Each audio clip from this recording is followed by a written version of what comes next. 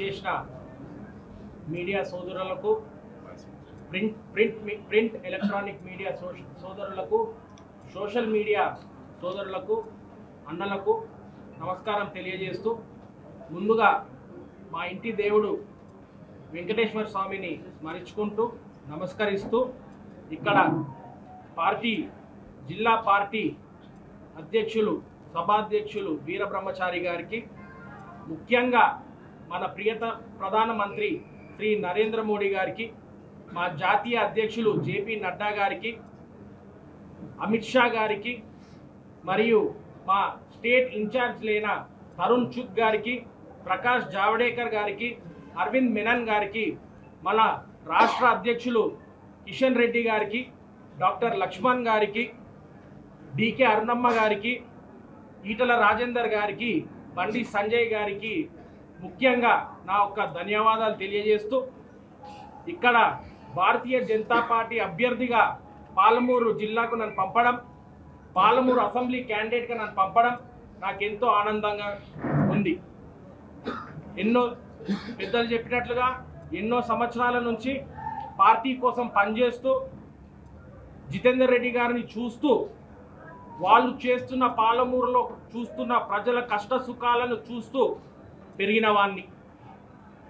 ఏ విధంగా కష్టాలుండేనో ఏ విధంగా ప్రజలు ఇబ్బంది పడుతుండేనో అవన్నీ మా మా ఫాదర్ జితేందర్ రెడ్డి గారు ఎంపీగా ఏ విధంగా ప్రజల కోసం కష్టపడుతుండే నేను చూసి పెరిగిన వాడిని కాబట్టి పద్మావతి కాలనీలనే ఉండి ముప్పై సంవత్సరాల ఎక్స్పీరియన్స్ ముప్పై తొమ్మిది ఏళ్ళ ఏజ్. అంటే అరవై ఏండ్ల ఎక్స్పర్టైజ్తో వస్తున్నా మీ ముందుకి అని చెప్పి తెలియజేస్తున్నా. ముఖ్యంగా జిల్లా పదాధికారులకు జిల్లా పెద్దలకు జిల్లా సీనియర్ నాయకులందరికీ కూడా నమస్కారాలు తెలియజేస్తూ భారతీయ జనతా పార్టీ ప్రతి ఒక్క కార్యకర్త మహిళా కార్యకర్త సీనియర్ కార్యకర్త ప్రతి మోర్చా కార్యకర్త ఆశీర్వాదం కావాలని కోరుకుంటూ పాలమూరు ప్రజల దీవెన ఆశీర్వాదం ఉండాలని ఆశిస్తూ ఒక యువకునికి అవకాశం ఇవ్వండి. ఒక నరేంద్ర మోడీ రిప్రజెంటేటివ్గా ఈ యొక్క మిథున్ రెడ్డికి అవకాశం ఇవ్వండి. ఎన్నో ఇక్కడనే ఎన్నో కష్టాలు చూసి పెరిగిన వాడిని కాబట్టి ఏ ఒక్క కష్టం కూడా వదలకుండా తీర్చిదిద్దుతానని చెప్పి మీకు తెలియజేస్తున్నా. ఈరోజు రాష్ట్ర నలమూలలాగా ఏ విధంగానైతే ఈ యొక్క రాష్ట్ర ప్రభుత్వం మనని ప్రజలని మోసం చేస్తుందో. తొమ్మిది సంవత్సరాలైనవి తెలంగాణ సెంటిమెంట్ మీద మనం ఎంతో నీళ్ళు నిధులు నియామకాలు అనుకుంటా ప్రజల మధ్యలో ఈ యొక్క ప్రభుత్వము ఓట్లు తీసుకున్నది. ఎన్నో స్కీములు అనౌన్స్ చేసింది. కానీ అంతా ఉట్టివే డొల్లా. ఈరోజు పాలమూరులో కూడా ఈరోజు పాలమూరులో కూడా అభివృద్ధి జరిగిందంటే కేవలం కేవలం నరేంద్ర మోడీ గారి నిధులు మాత్రమే. మన హైవేలు కానీ మన స్ట్రీట్ లైట్లు కానీ లేకపోతే మన వాటర్ ప్లాంట్స్ కానీ లేకపోతే మన డ్రైనేజ్ సిస్టమ్లు కానీ చివరికి సర్పంచ్లకు వచ్చే డబ్బులు కూడా నరేంద్ర మోడీ గారు ఇచ్చేదే. కానీ ఇక్కడ ఏం జరుగుతుంది? ఈ రాష్ట్రంలో ఏం జరుగుతుంది? సొమ్మొకరిది డప్పొకంది సొమ్మొకరిది షోకొకంది. ఆ విధంగా రాష్ట్రంలో నడుస్తుంది. ఈ ఈ యొక్క అరాచకాలు దుర్మార్గాలని ప్రజలు గమనిస్తున్నారు. ప్రజలు చూస్తున్నారు. తొమ్మిది సంవత్సరాలు మోసపోయినరు ఒక్కసారి భారతీయ జనతా పార్టీ నరేంద్ర మోడీ గారికి డబల్ ఇంజిన్ సర్కార్ అవకాశం ఇచ్చి చూడండి. పద్దెనిమిది రాష్ట్రాలలో నరేంద్ర మోడీ గారు రాష్ట్రాలలో కూడా పరిపాలిస్తున్నారు. ఒక్కసారి అక్కడికి వెళ్ళి డేటా తెప్పించుకొని చూడండి. అక్కడున్న మీ దోస్తులని చుట్టాలని కనుక్కొని చూడండి. ఏ విధంగా డబల్ బెడ్ డబల్ ఇంజన్ సర్కార్ పనిచేస్తుందో. నాలుగు కోట్ల బెడ్ ఇల్లులు కట్టి నరేంద్ర మోడీ గారు ఇచ్చేశారు. ఇక్కడ డబల్ బెడ్రూమ్ అని ఆశ చెప్పి డబల్ బెడ్రూమ్ ఆశ చూపించి అది కూడా ఏం చేస్తుండ్రు? వాళ్ళొక కార్యకర్తలకు వాళ్ళు కమిషన్లు ఇస్తే వాళ్ళకు అలాట్ చేయడం జరుగుతుంది. మళ్ళీ అది కూడా ఏం చేస్తుండ్రు? ఊరవతల పోయి కట్టిండ్రు అవి. అక్కడికి కమ్యూనిటీ కమ్యూటింగ్ ఎట్లా? ట్రాన్స్పోర్ట్ ఎట్లా? మళ్ళీ ఇంకో రెండో సైట్లు కట్టిండ్రు. కట్టి సంవత్సరాలు అయిపోయినాయి గోడలకు చెట్లు ములుస్తున్నాయి. క్వాలిటీ కన్స్ట్రక్షన్ లేదు అక్కడ. ఇదంతా చెక్ చేసేది ఎవరు? ప్రజలు గమనించాలి. ఈ మోసాలను అరికట్టాలి. ఇలా మాట్లాడుకుంటా పోతే ఎన్నో పథకాలు ఎన్నో పథకాలు పాలమూరు ప్రజలే కాదు తెలంగాణ యావత్ తెలంగాణ కడుపులో తిప్పేసే విధంగా ఈ యొక్క సమాజానికి జరుగుతుంది. ఒక్కసారి భారతీయ జనతా పార్టీ అభ్యర్థి నేను గెలిస్తే ఇక్కడ ప్రతి కార్యకర్త గెలిచినట్లే. ఈ ప్రతి కార్యకర్తకు ఆ ఇంపార్టెన్స్ నేను దగ్గరుండి చూసుకుంటా. ఒక్కటి మాత్రం క్లియర్గా గుర్తుపెట్టుకోండి భారతీయ జనతా పార్టీకి అవకాశం ఇస్తే పాలమూరులో గెలిచిన మరో క్షణం నుంచి ఎమ్మెల్యే ట్యాక్స్ అనేది ఉండదు. ఎమ్మెల్యే ట్యాక్స్ అనేది ఉండదు. ఏ విధంగా అయితే ఇక్కడ స్లాబ్కి లక్షలు షాపు పెట్టుకోవాలంటే కమిషన్లు బిజినెస్ చేయాలంటే ఏ విధంగా అయితే డబ్బులు దండుకుంటుండ్రో అలాంటి ఎమ్మెల్యే ట్యాక్స్లు ఇక్కడ ఉండగాక ఉండదు. ఇది నా గ్యారెంటీ. అందుకే ఒక్కసారి భారతీయ జనతా పార్టీకి అవకాశం ఇచ్చి చూడండి. ఈ యొక్క యువకునికి అవకాశం ఇచ్చి చూడండి. ప్రతి కార్యకర్తని ప్రతి పాలమూరులో నివసించే ప్రతి బిడ్డని పెద్దలతో పెద్దల ఆశీర్వాదంతో యువకుల సహకారంతో ఇరా- ఈనాడు ఎన్నికలకు నేను రావడం జరిగింది. మీ యొక్క అభిమానాన్ని మీ యొక్క ఆశీర్వాదాన్ని కోరుకుంటూ మీకోసం సేవ చేస్తా అని చెప్పి మీకు విజ్ఞప్తి చేస్తున్నాం. ఒక్కసారి ఆలోచన చేయండి. ప్రధానమంత్రి గారు మన అందరి కోసం కరోనా వ్యాక్సిన్ ఇచ్చిండ్రు. ఇతర పార్టీ వాళ్ళు ఇతర పార్టీ వాళ్ళు కూడా ఇదే కరోనా వ్యాక్సిన్ తీసి ఇంకా బతుకున్నారు. వాళ్ళు కూడా నరేంద్ర మోడీ గారి బెనిఫిషరీలే. వాళ్ళు కూడా మా వాళ్ళే. ఖచ్చితంగా వాళ్ళు కూడా భారతీయ జనతా పార్టీ గురించి ఆలోచించాల్సింది. అవసరం చాలా ఉంది. ప్రతి ఒక్క ఉద్యమకారునికి తొమ్మిది సంవత్సరాల నుంచి ఎంత మోసం జరుగుతుందో ఒకసారి ఆలోచించండి. నీళ్ళు అన్నారు నిధులు అన్నారు ఉద్యోగాలు అన్నారు వాళ్ళకు పెన్షన్లు అన్నారు అన్న అది భృతి అన్న నిరుద్యోగ భృతి అన్నారు. ఏమైపోయినాయి? చెప్పుకోవడానికే ఖాళీ డొల్లా మాటలు. పేపర్లు చూస్తూనే ఉన్నారు పది సంవత్సరాల నుంచి. త్వరలో త్వరలో త్వరలో త్వరలో. ఆ త్వరలో ఈ పది సంవత్సరాలు అవుతుంది సార్. కేసీఆర్ సార్ ఆ పది సంవత్సరాలు అవుతుంది ఆ త్వరలో త్వరలో మాట్లాడుకుంటా. ఎక్కడ పోయింది? ప్రతి బిడ్డ ప్రతి యువకుడు ప్రతి ఆడపిల్ల రాష్ట్రం మొత్తంగా ఇది అంతా గమనిస్తున్నారు. సోషల్ మీడియాలో చూస్తున్నాం. ప్రతి మంట ప్రతి మనిషి కడుపు మాడిపోతుంది. ప్రతి మనిషి ఇదెక్కడ జీవితం రా బాబు అని ఆలోచించే విధంగా మన రాష్ట్రం తయారవుతుంది తాగుబోతుల రాష్ట్రం తయారు చేసిండ్రు. అప్పుల పాలు రాష్ట్రం తయారు చేసిండ్రు. ఏం చేస్తున్నారు ఇక్కడ? మళ్ళా తిరిగి అధికారంలోకి రావాలంట. తిరిగి దౌర్జన్యం చేయాలంట. ఈరోజు మీరు ఒక ఆలోచన చేయండి. నిన్న కోకాపేటలో భూములు అమ్మిండ్రు. మొన్న గచ్చిబౌలిలో భూమిని అమ్మిండ్రు. రేపు పొద్దున మీ భూమి కూడా మీ ఇల్లు కూడా అమ్మకపోతే చూడండి ఇటు బీఆర్ఎస్ వాళ్ళు. ఆ పరిస్థితి రావద్దు అని చెప్పి నేను కోరుకుంటున్నా. రేపు పొద్దున భూములు అమ్మేస్తున్నారు ఆస్తులు అమ్మేస్తున్నారు. ప్రతి ఒక్క ప్రతి ఒక్క ఏజెన్సీని వీళ్ళు అమ్మేస్తుంటే మన మన ప్రభుత్వ డబ్బులు ప్రభుత్వ ఖజానా ఖాళీ అయిపోతుంది. ఏ విధంగా సంక్షేమ పథకాలు రైతు బంధు రైతు బీమా అని చెప్పి ఆశ పెట్టి మబ్బె పెడుతుండు ఏడికెళ్ళి చేస్తాడు పైసలు. ఎవరిస్తుండ్రు పైసలు. ఏ ఈరోజు చెప్తున్నాము. ఏ ఏమే గొప్పలు చెప్పుకుంటారు.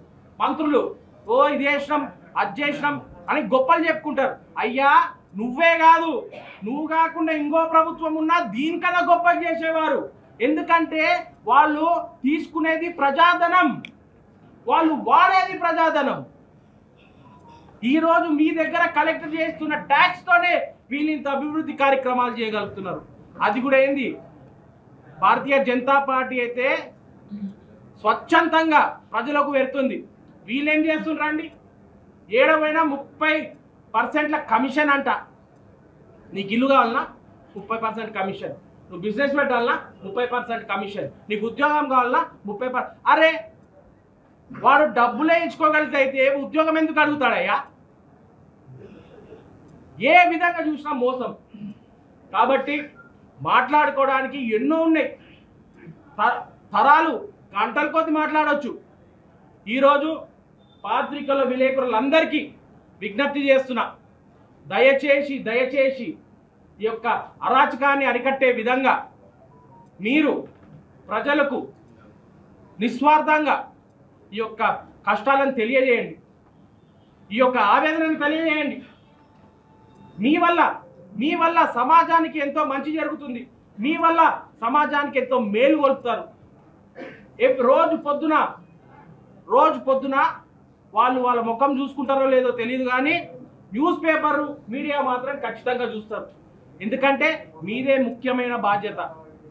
ఖచ్చితంగా ప్రజలను మేల్కొల్పండి ఒక్కసారి భారతీయ జనతా పార్టీకి ఆశీర్వదిస్తారని ఆశీర్వదిస్తారని చెప్పి కోరుకుంటూ ఇక్కడికి విచ్చేసిన పెద్ద భారతీయ జనతా పార్టీ పెద్దలకు మీడియా మిత్రులకు కార్యకర్త కుటుంబ సభ్యులందరికీ ధన్యవాదాలు తెలియజేస్తూ ముగిస్తున్నాను. భారత్ మాతాకి పాలమూరు గడ్డ మీద అడుగు పెట్టిన రోజు పాలమూరు ప్రజలందరూ కూడా నన్ను గత ఇరవై ఏడు సంవత్సరాల నుంచి కూడా నన్ను ఆదరిస్తున్నారు. నాకు నన్ను ప్రేమించారు. నాతో పాటు ఉన్నారు.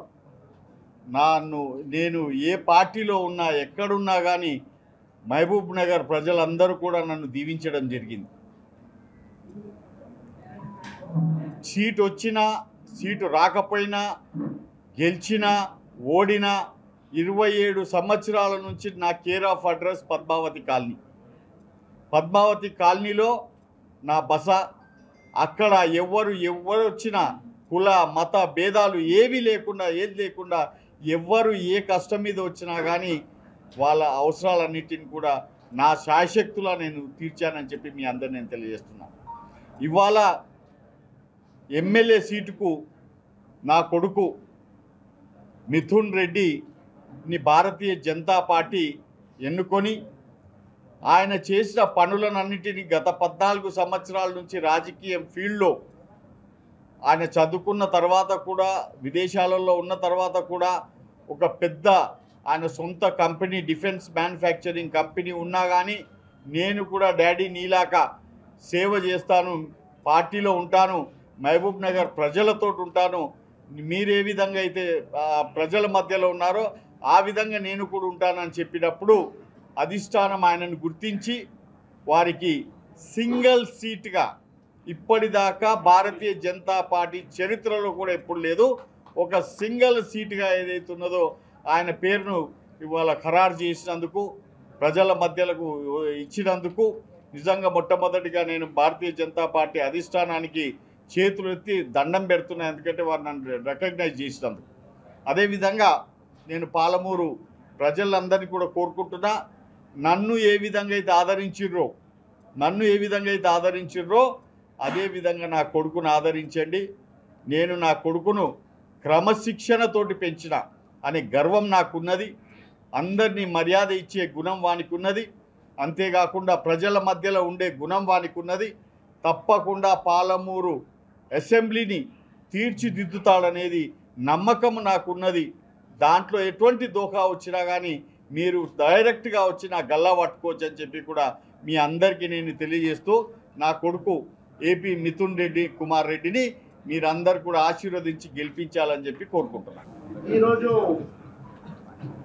పాలమూరు జిల్లాకు ఒక దిశ దశ చూపెట్టేటటువంటి నాయకుడు యువ నాయకుడు మిథున్ రెడ్డి గారు రావడం నిజంగా చాలా సంతోషంగా ఉంది. ఈ జిల్లాని దాదాపు నలభై సంవత్సరాల నుండి నేను ఈ జిల్లాలో పనిచేస్తున్నాను.